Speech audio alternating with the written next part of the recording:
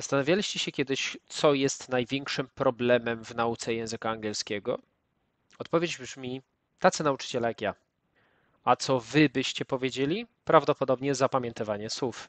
Jeżeli nie zgadzacie się z pierwszą odpowiedzią, to zapraszam do oglądania, bo dzisiaj pokażę wam, jak uczyć się słówek, jak je zapamiętywać, jak je ćwiczyć. Time to get rolling. Okej. Ten filmik będzie nawiązaniem do dwóch filmików, które macie poniżej, czyli jak tworzyć słowa e, word formation.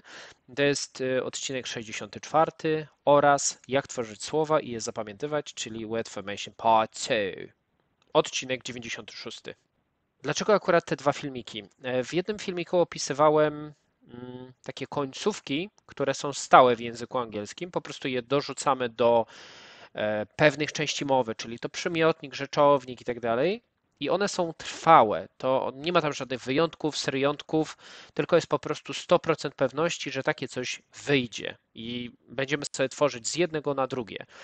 Natomiast drugi filmik e, pokazuje też również końcówki, ale tutaj bardziej jakby staramy się zwizualizować, że coś takiego istnieje, i na to będziemy zwracać uwagę, ponieważ później skleję to w jedną całość i zobaczycie, coś Wam pokażę. Jak zdążyliście zauważyć, tutaj mamy sześć właściwie takich końcówek. Ja może je będę zaznaczać. Czyli jest coś takiego jak OW i wszędzie tutaj widzimy OW. Jest coś takiego jak EN.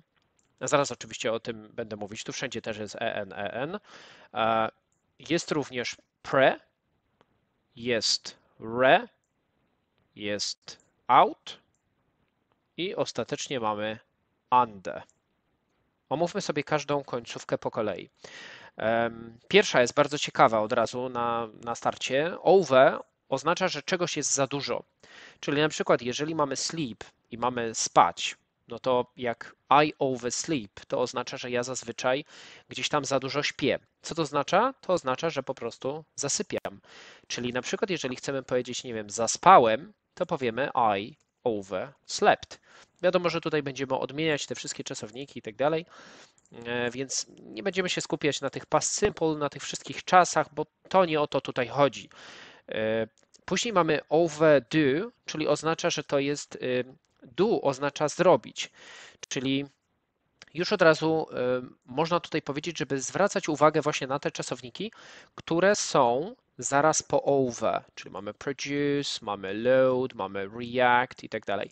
I teraz overdo oznacza zrobić czegoś za dużo, czyli generalnie jak y, skupimy się na tym właśnie, y, na tej końcówce over, oznacza, że czegoś robimy za dużo, czyli e, zasypiamy, overdo, czyli zrobiliśmy czegoś za dużo i na przykład moglibyśmy zrobić takie zdanie jak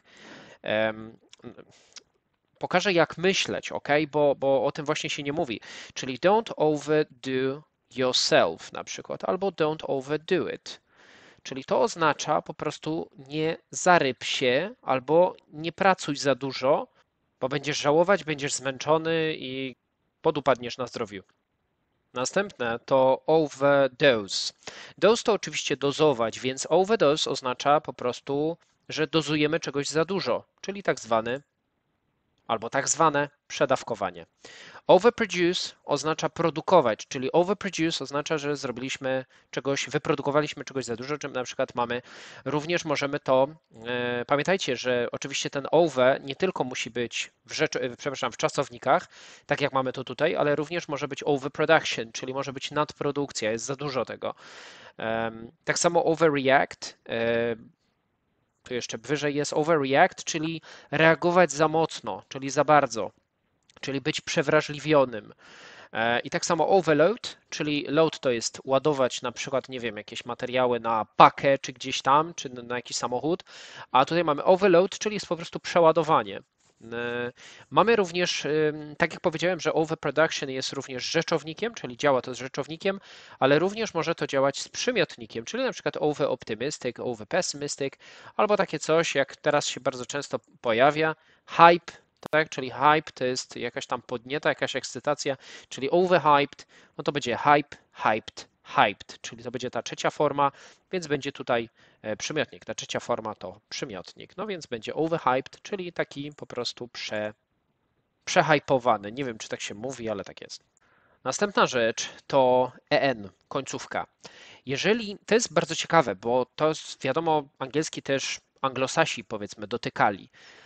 Jest to niemiecki i w niemieckim nie jestem świetny z niemieckiego, ale pamiętam doskonale, że była tam końcówka EN. Czyli jeżeli mieliśmy czasowniki, to dokładaliśmy EN. I właśnie to jakoś się pojawiło w języku angielskim. E, jeżeli ktoś zna historię tego, może oczywiście napisać. Ja zawsze tak to e, sobie tłumaczyłem. I teraz to EN również będzie tutaj czasownikiem, czyli mamy strength, to jest siła. No więc jeżeli mamy strengthen, oznacza wzmocnić. Jeżeli mamy soft, to mamy łagodny, ale soften, złagodzić. I tutaj na przykład może nam się pojawić takie słowo, którego używamy co jakiś czas. E, softene, czyli to jest zmiękczacz. No i oczywiście tutaj mamy też ER. Myślę, że ER to jest akurat jasne. Możemy o tym szybko powiedzieć, czyli jak mamy drive, mamy driver, e, czy mamy jakiegoś tam kierowcę, mamy train, trenować i trainer. Macie dodatkowe. E, następnie mamy darken, czyli przyciemnić. Dark to jest mroczny czy ciemny, więc możemy przyciemnić. Tighten, tight to jest ciasne, więc tighten można zacieśnić i na przykład możemy zacieśniać jakieś e, relacje, czyli tighten bonds. Później mamy sweeten. Bonds to są oczywiście obligacje, jakby ktoś chciał. Sweeten to jest posłodzić. Madden to jest y, jakby mad to jest wściekły albo zły, no więc możemy rozwścieczyć kogoś. Deepen y, to oznacza mm, zagłębić się, czyli deep to jest głęboki, deepen zagłębić się y, i sharpen, czyli sharp to jest ostry, ale sharpen to jest naostrzyć. Kolejna to pre. E, pre jest, myślę, takie chyba jasne, natomiast też często ludzie o tym zapominają, nie wiem czemu.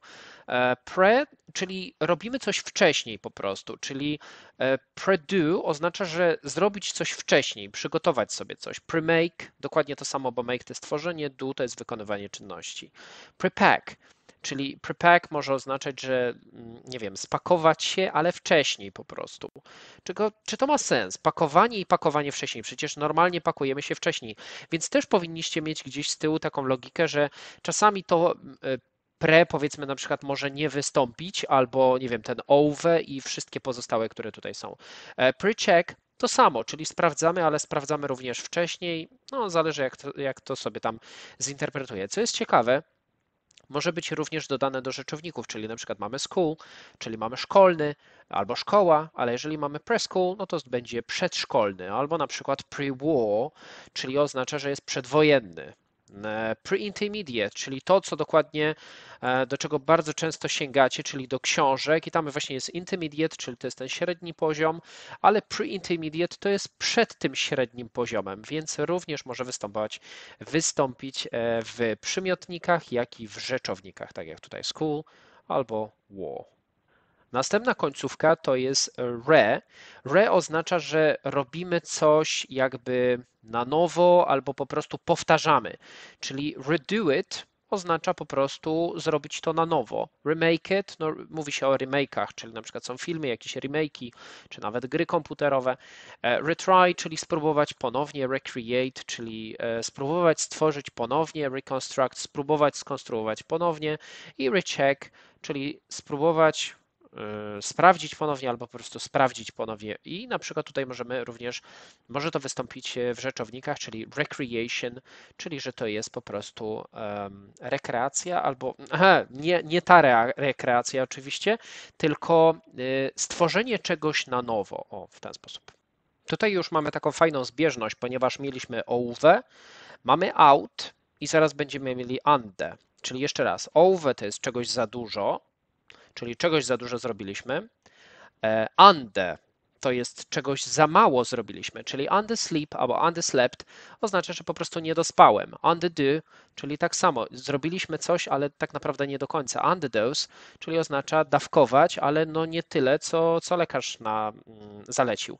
Underperform. Perform to jest y, generalnie wykonywać, jakby działać, to są wyniki firmy, więc jeżeli underperform, to oznacza, że no firma no nie działa tak jak, e, tak jak, nie wiem, w poprzednim roku, albo na przykład coś zostało wykonane, ale tak nie do końca. Underload, czyli jest jakieś niedoładowanie, czyli w sensie, nie wiem, e, powiedzmy jest jeszcze mnóstwo miejsca w aucie, jest underloaded albo under, underload.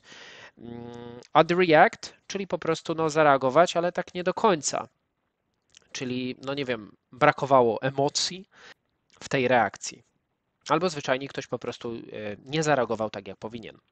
Więc tutaj mamy taki plus i taki minus, czyli ten over i under, a teraz mamy out. Out oznacza, że robimy coś dobrze, za dobrze bym powiedział, czyli outdo oznacza, że na przykład jeżeli byśmy zrobili takie zdanie they outdid them, to oznacza, że oni ich przewyższyli, czyli zrobili coś, co było o wiele lepsze.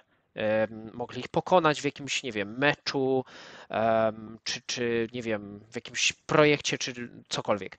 Outnumber, number pochodzi od liczenia, od, e, od liczb, czyli outnumber oznacza przewyższać liczbowo, czyli na przykład jeżeli tam po prostu, nie wiem, um, była jakaś walka, czy jakiś pojedynek, czy coś, no to jedna po prostu grupa, gdzie miała więcej osób, przewyższyła liczbowo daną grupę.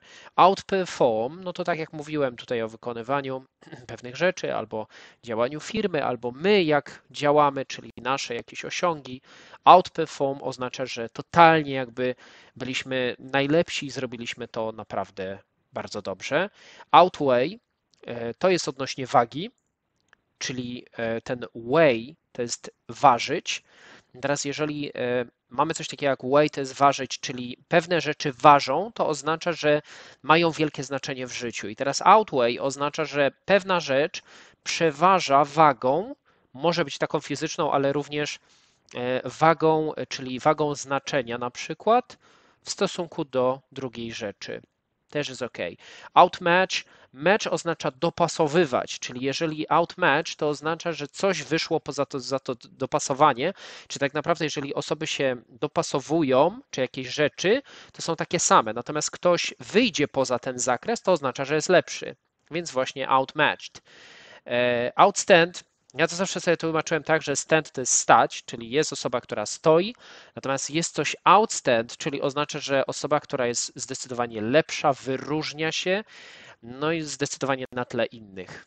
I w tym momencie outstanding oznacza, że coś jest takie świetne, genialne, natomiast outstanding też może być dług, czyli chodzi o to, że on się wyróżnia, czyli gdzieś tam, powiedzmy w tych, e, nie wiem, books, czyli księgach rachunkowych, e, wyróżniają się, czyli jest to dług, który trzeba spłacić po prostu. Tak zwany outstanding debt. I teraz już możemy przejść do sedna, bo mamy wszystko. Postanowiłem, że no, przerzucę sobie wszystko to po prostu na jedną stronę, żeby to było widoczne. Mamy wszystkie te końcówki, które, które przed chwilą omawialiśmy. I jak każdy dobrze wie, kto mnie zna, ja uczę bez gramatyki. Oczywiście gramatyka też jest ważna, ale mamy bardzo dużo konstrukcji niegramatycznych, które jesteśmy w stanie wykorzystywać. I teraz co można z tym zrobić? Jak widzicie, tutaj macie mm, cztery konstrukcje, czyli te. Może przetłumaczmy sobie, czyli it's hard to think about it, czyli jest to ciężkie, aby w ogóle o tym pomyśleć. To jest konstrukcja bezgramatyczna. Następne tutaj mamy, że są hotele mm, obsługujące klientów każdego dnia. Za pomocą tego ing jesteśmy w stanie zrobić konstrukcję również bezgramatyczną czy niegramatyczną i e, no i tyle. I wystarczy znając po prostu czasownik, rzeczownik, to, to wszystko robimy sobie zdanie. Następnie mamy jadąc tam, mogłem, mogłam zobaczyć to, czyli mamy going there, I could see it. Tutaj za pomocą czasowników modalnych to robiliśmy. E, żeby właśnie uniknąć tej gramatyki, ponieważ czasowniki modalne nie wymagają gramatyki. E, I tutaj mamy, był to genialny pomysł, aby tam pójść, czyli it was a great idea to go there. To zdanie również jest bez gramatyki. E, no mamy tylko to be, no ale myślę, że z to be sobie każdy poradzi, więc tam jest it is. Tak jak tutaj mamy it's hard to think about this, czy it. Jest to ciężkie, a tutaj było, był to wspaniały pomysł, aby tam pójść to, co mam tutaj, czyli te wszystkie cztery zdania, one są omawiane już e, w tym trzecim filmiku, e, bo dzisiaj nawiązywałem do dwóch, ale tu jest trzeci. I on oznacza sprawdź, znaczy mówi o tym, e, sprawdź, czy myślisz po angielsku. Jest bardzo dużo konstrukcji niegramatycznych, To znaczy między innymi e, tyle i to są właśnie zdanie wyrwane stamtąd, więc jeżeli ktoś nie wie tego, no to zapraszam tam i wtedy będzie już wiadomo o co chodzi. No i teraz możemy przejść już do praktyki. Każdy mówi o tym, żeby zapisywać e, zdania, tworzyć je, wpisywać do zeszytu. OK, zgodzę się, jest to sposób. Natomiast co my dzięki temu mamy? Jeżeli będziemy każde zdanie zaczynać od ja, ty, on, ona, ono, my, wy, oni, one, to będą, e, będą czasy na nas czekać, czyli będzie ten present simple, past simple i to wszystko. Czyli tak naprawdę jesteśmy w stanie tylko zmienić czasy. Czyli na przykład, jeżeli piszemy zdanie I e, overdo sometimes myself, czy I sometimes overdo myself, to oznacza, że czasami za dużo pracuję. No i w tym momencie możemy to zdanie, może napiszmy sobie je, czyli na przykład takie zdanie. Hmm, może ja je napiszę tutaj. I sometimes overdo myself. To jest myślę też nawiązanie do tych, co się uczą angielskiego i nie tylko. Czyli czasami po prostu zarabiam się, tak chyba to się mówi, czyli za dużo po prostu pracuję. Możemy to zmienić oczywiście na past simple, past continuous, present perfect i te wszystkie, jeżeli znamy, bardzo fajna praktyka, ok, uczymy się. Ale jeżeli chcemy zrobić to niegramatycznie, to właśnie musielibyśmy korzystać z tych form. I teraz, co ja mam na myśli? Jeżeli weźmiemy sobie przykładowo e, słowo, nie patrzymy oczywiście na końcówki. Powtarzam, nie patrzymy na końcówki, czyli nie patrzymy na te OWE, EN, PRE, bo to nie ma sensu. Sens znajduje się dokładnie tutaj, czyli w czasownikach. Czyli tu mamy, mamy sleep, mamy do, mamy dose. O, coś tutaj. Aha, bo to są czasowniki, zaznaczyłem je, ok. Czyli mamy dose, mamy dose, mamy produce i tak dalej. Te wszystkie to są czasowniki. I teraz co my dzięki temu mamy? Jeżeli weźmiemy sobie sleep, to możemy powiedzieć na przykład it's hard to sleep today, na przykład. Czyli mamy zdanie takie. Na przykład it's hard to sleep today. Co to oznacza? To oznacza, że ciężko dzisiaj spać, powiedzmy, albo tonight, dzisiaj wieczorem, czy coś takiego. Następne zdanie, jeżeli weźmiemy sobie, na przykład mamy there's hotels servicing clients every day, to oznacza, że są hotele obsługujące klientów każdego dnia. Ale dzięki temu, że mamy to sleep, to możemy na przykład zrobić takie zdanie. Przykładowe oczywiście, czyli there's people sleeping um, na przykład today. Czyli są ludzie, którzy śpią dzisiaj na przykład in this hotel. Czyli są ludzie śpiący dzisiaj w tym hotelu. Rozumiecie o co mi chodzi? Czyli e, wykorzystujemy wszystkie struktury gramatyczne, te o których mówiłem. Zaraz powiem, gdzie je znaleźć jeszcze, bo ich jest już dosyć sporo na moim kanale, ale również na naszej grupie Facebook, więc zaraz o tym opowiem. No i takie zdania właśnie możemy sobie tworzyć za pomocą tych czasowników, czyli sleep. I oczywiście mówię o tych dwóch filmach, gdzie tam wszystkie te końcówki były, stamtąd je wyciągamy, czyli nasz zakres myślenia totalnie się zwiększa. I dzięki temu, że mamy te końcówki, plus jeszcze te czasowniki, które się tam chowają właśnie tutaj, czyli to way, perform i tak dalej, i jesteśmy w stanie zacząć eksperymentować w związku z nauką angielskiego. I to na przykład dla mnie było czymś przełomowym, co ja sobie zdałem sprawę z czego sobie zdałem sprawę i oczywiście polecam, żeby to zrobić na jednej stronie A4. Jeżeli spiszecie sobie wszystko to na jednej stronie A4, to taka nauka będzie idealna i na pewno ktoś już o tym mówił, na pewno słyszeliście, że nauka najlepiej wychodzi po prostu jak mamy wszystko na jednej kartce, a nie na 20, 30, 40 czasami stronach, e, jak to e, było czasami na lekcjach historii, na przykład u mnie, ale pewnie u Was również. Następne zdanie to jest e, going there, I could see it. Czyli oznacza, że jadąc tam mogłem to zobaczyć. Czyli na przykład moglibyśmy sobie zrobić zdanie sleeping here, I could do na przykład, nie wiem, I could rest. Może napiszmy sobie, czyli sleeping here, I could rest. Czyli śpiąc tutaj, mogłem odpocząć. I tak właśnie ma to działać. No i ostatnie, czyli mamy tutaj, był to genialny pomysł, aby tam pójść, czyli it was a great idea to go there. Tutaj jest troszkę inaczej, więc trzeba też na to zwracać uwagę, bo tu mamy a great idea. Czyli chodzi o to, że mamy do czynienia z rzeczownikiem. A great idea to jest rzeczownik, czyli jeżeli byśmy znaleźli w tych e, w tych końcówkach gdzieś rzeczownik, to można to zrobić.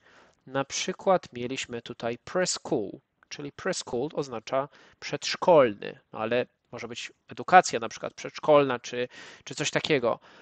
No albo po prostu przedszkole. No więc jeżeli byśmy powiedzieli na przykład to było wspaniałe przedszkole, do którego się chodziło, to byśmy powiedzieli na przykład, no i tu już nie ma miejsca, muszę coś usunąć. Napiszmy sobie takie zdanie, ale pamiętajcie, że to są rzeczowniki. Rzeczowniki dużo nam nie, nie pomogą, bo jak będziemy czasowniki stosować, to będzie o wiele lepiej. Czyli na przykład it was a great preschool, czyli to przedszkole, uh, to go to, czyli do którego się chodziło. No bo to go oznacza do którego, nie do którego, tylko aby pójść, ale musimy jeszcze do którego, czyli musimy dodać to nasze to. I to jest mój sposób na naukę e, języka angielskiego, na naukę słownictwa i przede wszystkim szersze patrzenie na język, a nie na zasadzie, że piszemy po prostu jedno zdanie, odmieniamy je we wszystkich czasach i ostatecznie nic nie mamy e, bo po prostu takie coś nie działa. Jeżeli u kogoś działa, to super, to się cieszę, ale u większości, myślę, osób zdecydowanie to nie działa. Więc jeżeli takie coś Wam się podoba w powiązaniu właśnie z konstrukcjami niegramatycznymi, to takich konstrukcji jest o wiele więcej już mówię gdzie. Te konstrukcje mieszczą się na naszej grupie Facebook. E, mamy tam czata, rozmawiamy sobie od czasu do czasu, jak ktoś chce.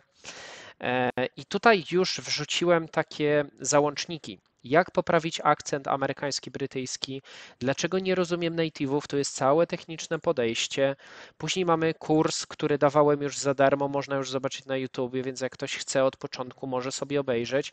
No i tutaj, jeśli ktoś ma problemy z myśleniem po angielsku, oto lista filmików, czyli tu są właśnie te filmiki, które e, mówią o tych konstrukcjach niegramatycznych, które możemy wykorzystać, no i między innymi połączyć je właśnie z tymi końcówkami. Jeżeli takie myślenie Wam się podoba, to oczywiście zapraszam do kolejnego filmiku. Zapraszam również do subskrypcji, jeżeli ktoś jest zainteresowany e, obejrzeniem kolejnych moich projekcji. No i co? Myślę, że tyle. Aha, i jeszcze jedna rzecz. Jeżeli ktoś jest zainteresowany 4 marca właśnie na ten temat, będę robić webinar, więc myślę, że zrobimy taką dużo, dużo takiej praktyki. Na pewno zrobimy dużo takich zdań, tych konstrukcji, tych końcówek, tego wszystkiego. Złożymy sobie w to w całość, to w całość. No i mam nadzieję, że będzie licznie. Mm, do czego zachęcam. No i co? Bardzo dziękuję za dziś. Do następnego. Trzymajcie się. Hej!